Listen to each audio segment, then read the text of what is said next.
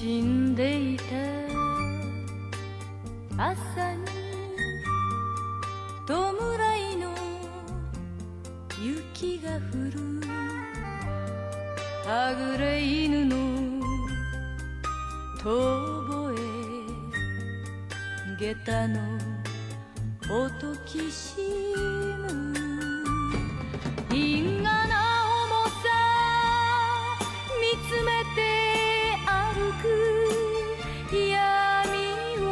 きしめる。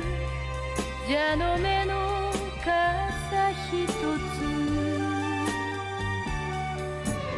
命の道を行く女。涙はとに捨てました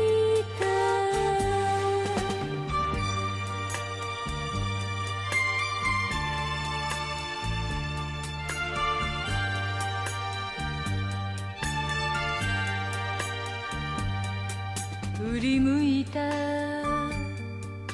川に遠ざかる旅の日がいてた鶴は動かず泣いた雨と風冷えた水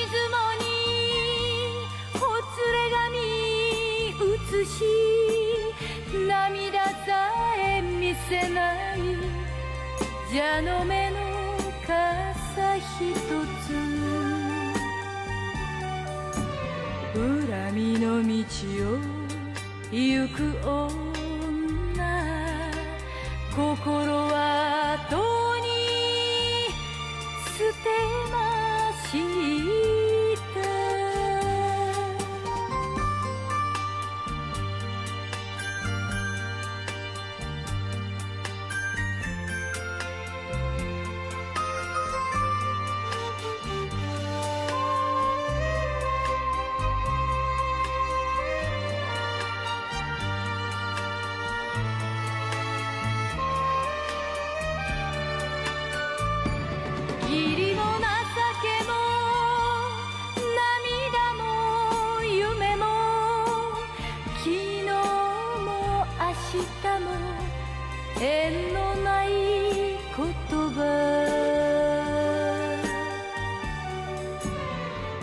波の川に身を委ね女は